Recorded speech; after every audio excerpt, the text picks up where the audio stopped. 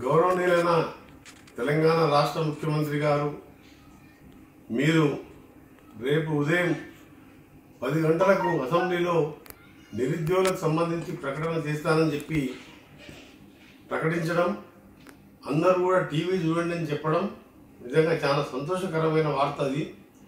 నిరుద్యోగ పక్షాన మీకు ముందుగానే కృతజ్ఞత తెలియజేసుకుంటూ నా రిక్వెస్ట్ ఒకటే మీరు రెండు వేల పద్దెనిమిది ఎన్నికల్లో మేనిఫెస్టోలో మూడు వేల నూట పదహారు ఇస్తానని చెప్పి ప్రకటించడం జరిగింది. ఆ విధంగా దాదాపు నలభై నలభై లక్షల మంది నిరుద్యోగులు ఆ రోజుకెళ్ళి నిరుద్యోగ వృత్తి గురించి ఎదురు చూస్తున్నారు.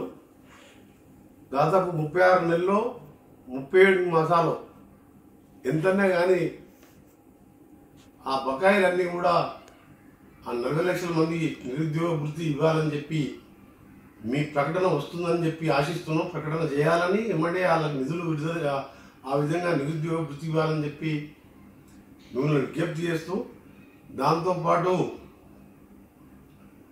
ఖాళీలు ఉన్న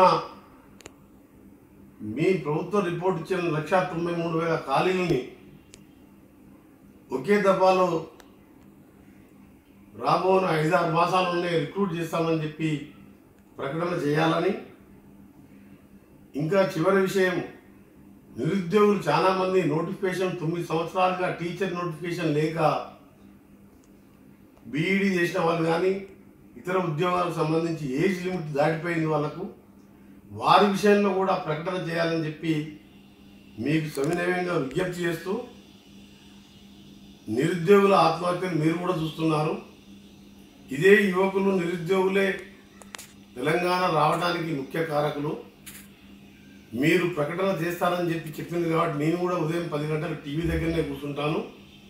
మీ ప్రకటన రాగానే నేనే స్వయంగా వెళ్ళి నా భువనగిరి పార్లమెంట్ కేంద్రంలో మీకు పాలాభిషేకం చేయడంతో పాటు మా పార్లమెంట్ వ్యాప్తంగా తెలంగాణ వ్యాప్తంగా మీ అందరికి నీకు పాలాభిషేకం చేస్తూ కృతజ్ఞత తెలియజేసుకుంటూ మాకు ఇక ముందు ఏం అవసరం లేదు.